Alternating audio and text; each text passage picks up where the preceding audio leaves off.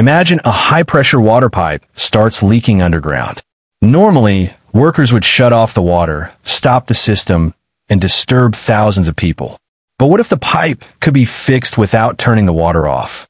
This is where a pressure-containing pipeline repair invention comes in. First, engineers locate the exact leak point.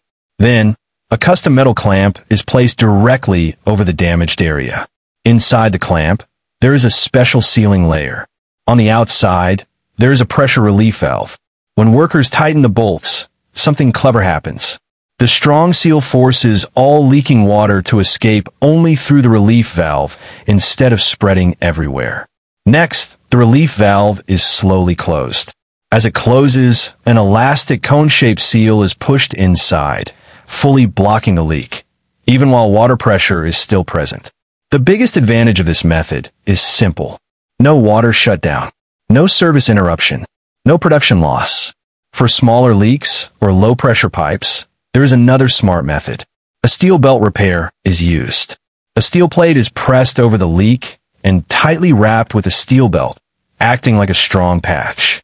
This invention saves time, money, and keeps cities running smoothly, all while fixing pipes under pressure.